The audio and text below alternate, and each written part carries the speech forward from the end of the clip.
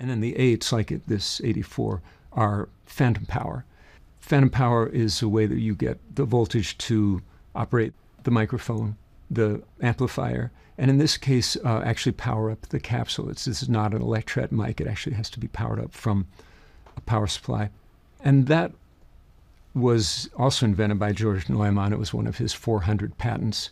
And, and the history of, of phantom power is, is interesting. They were uh, installing this and they wanted to find a way to sort of centrally power the microphones in a radio station or radio station complex in Norway. The reason that we have 48 volts DC, the, the, spec is actually 9 to 52 volts DC, but who's counting? The reason that it says 48 volts is just that in this Norwegian radio station, they were using 48 volts to distribute to the various radio stations to turn on the on the air light so that people wouldn't stumble in in the middle of a radio show and they go, well, we got 48 volts here, we might as well just power it with 48 volts. So that's how that happened.